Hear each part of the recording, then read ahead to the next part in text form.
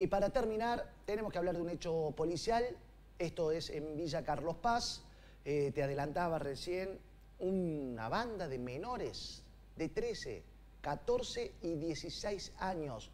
Ahí está lo que se les secuestró. Mirá, herramientas que tenían, iban con eso en la mochila para abrir las ventanas, para abrir las puertas en, en los distintos barrios. En este caso fueron sorprendidos en barrio Costa Azul Sur.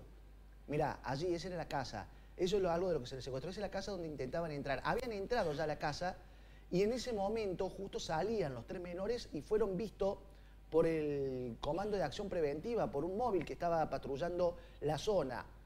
Los detiene, les pide la detención, los tres menores paran a un costado, iban caminando, se le hace una revisión, las, mochilas y se encuentra todo esto, una pinza, una tenaza, una masa, eh, llaves, también llaves para poder abrir justamente las distintas puertas, dinero en efectivo, también se le secuestró a estos tres menores de 13, 14 y 16 años. Habían intentado salir corriendo cuando vieron el móvil policial y luego fueron detenidos a pocos metros de la casa que habían entrado a robar tenían ganzúas y otras herramientas. Obviamente los menores fueron trasladados a la alcaldía local, a la comisaría y quedaron a disposición de la justicia. Estoy hablando de una banda de menores de 13, 14 y 16 años que habían robado en esa casa de barrio La Cuesta, perdón, de barrio Costa Azul Sur y fueron sorprendidos cuando salían luego de robar con algunos elementos y estas herramientas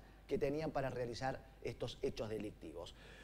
Bien, eh, sorprendente por cierto, pero bueno, aconteció aquí en Villa Carlos Paz y rápido accionar por parte de la policía que logra la detención de estos tres adolescentes. 12 del mediodía en punto, llegamos al punto final,